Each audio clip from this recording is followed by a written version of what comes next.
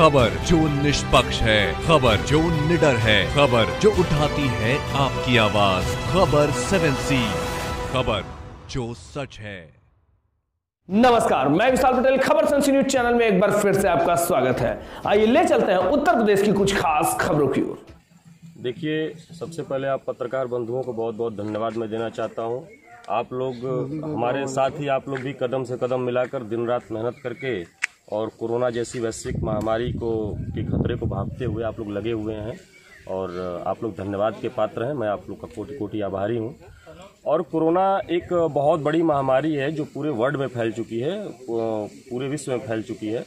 फिर भी भारत में नियंत्रण की स्थिति है और माननीय प्रधानमंत्री जी ने और माननीय मुख्यमंत्री जी ने लॉकडाउन किया है। तो ये लॉकडाउन इसलिए किया गया है कि आप लोग घरों में रहेंगे तो जो चीज़ है, किसी को लक्षण आता है कोरोना का तो उसका इलाज तत्काल किया जाएगा और वो उसके घर के अंदर तक ही फैल सकता है और घर के परिवार तक ही सीमित रहेगा, रोड पर नहीं आएगा।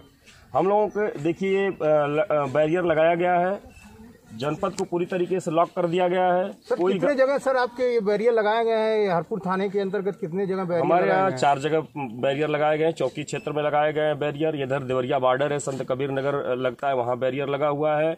आ, ये खुदवा नाला बॉर्डर है यहाँ पे भी बैरियर लगा हुआ है। ये इधर देखिए संत कबीर नगर जनपद का बॉर्डर है। ये संत कबीर नगर है। यहाँ लग रहा लगता है और थाने के सामने भी हम सुरक्षा हेतु बैरियर लगा दिए हैं। गाड़ियों को पास कराते समय गाड़ियों की सारी चीज़ों की बिल्कुल जाँच की जा रही है। एक एक डॉक्यूमेंट देखे जा रहे हैं। यदि कोई मेडिकल इफेक्टेड है किसी को दिक्कत है स्वास्थ्य संबंधी तो उसे रिक्वेस्ट किया जा रहा है कि आप घर से ही वन पे फ़ोन कर लें।